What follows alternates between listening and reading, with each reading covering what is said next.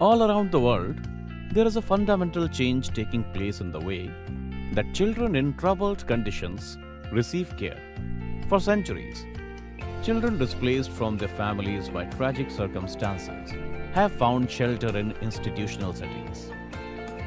In just the past two decades, a research driven consensus on the impacts of institutional care has emerged, ushering in a new approach to their care.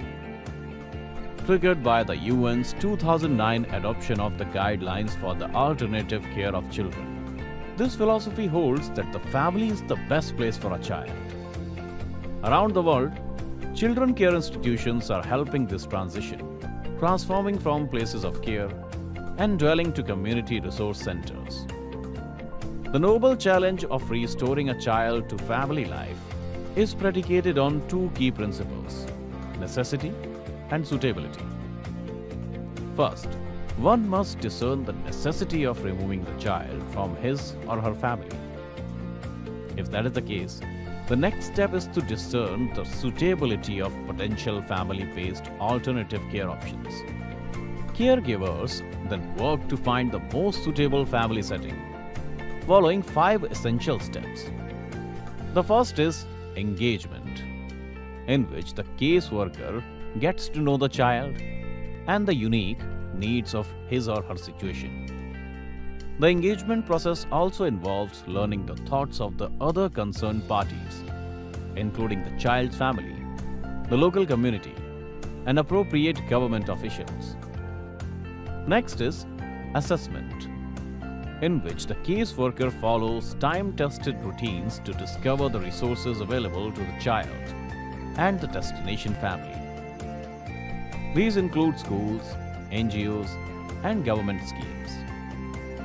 The third step involves designing services and building capacity. This is achieved by training both parents and local volunteers on best ways to help. With service in places, it's time to transition the child to the family. This stage requires ongoing visits and counseling to overcome hurts and build new healthy routines. The final and enduring stage involves monitoring and evaluation as case workers and other supporters evaluate and support the family.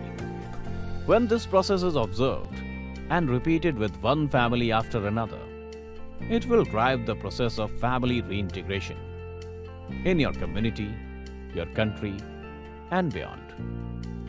In this first of four videos, you will be hearing from our subject matter experts on this vital process. So, you may grow in your understanding and engage more fully in restoring children to family settings. Together, we can help transform lives and open up pathways to a brighter future for countless children across our country and around the world. Successful transformation requires effort in four essential areas and includes work at multiple levels, from political leaders and policymakers to funders to the professionals working on the ground.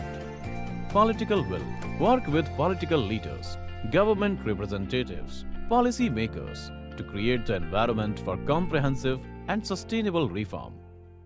Know how to achieve meaningful change. Each region needs to understand how it is possible to move from a system that relies on CCIs to one that focuses on community and family-based solutions. By developing community-based support systems, government can tackle the root cause of family separation.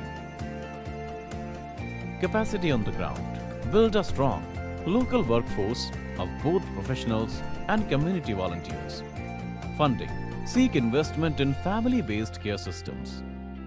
Transformation is achieved through successful completion of five steps as we will outline here and it is important to keep the areas of political will, know-how, capacity on the ground and funding in mind as you move through each of the five steps.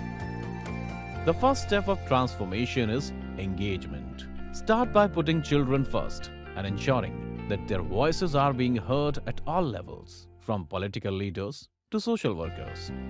It is also critical to listen to the thoughts and concerns of families, communities, and governments. How do children, families, local authorities, government, and the community feel about institutionalization? Why are children in institutions? What happens to cause parents to send their children to institutions? Does the community have resources in place to help parents and children? The next step is assessment. It is important to gather information in multiple areas to understand gaps and determine how to meet those needs.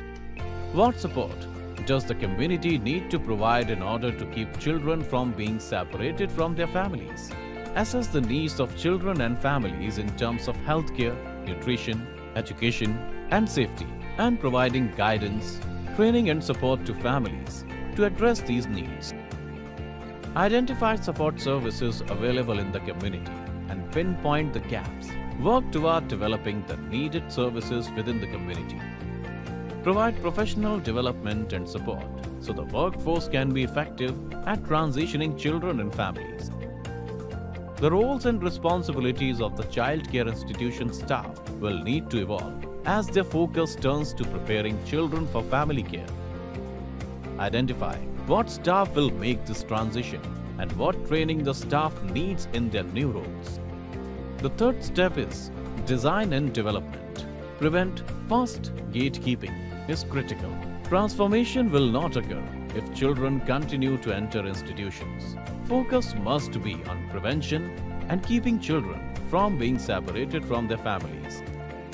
Focus on the children, looking at their needs and what is in their best interest and ensure that children with unique needs are receiving proper care and attention. Educate and guide parents, kinship caregivers and foster adoptive parents so they can provide the needed support to the children. Develop new support services as needed such as accessible healthcare, educational support, and parent education. Continue to train the staff that have been identified as being a part of the transition process. Ongoing training is critical. Ensure sustainability in individual placements, the placement process, and the transformation of institutional care to family care, capacity building for local authorities, and key stakeholders regarding gatekeeping is very important since prevention of family breakdown is key.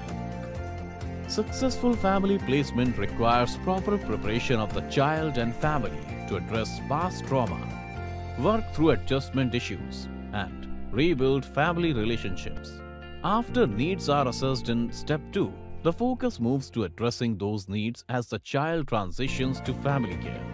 Adolescents aging out of care must be prepared for independent living recruit families for alternative care. During this time of transition, the child care institution staff actually begin their new assignment. Continued training and support will be required.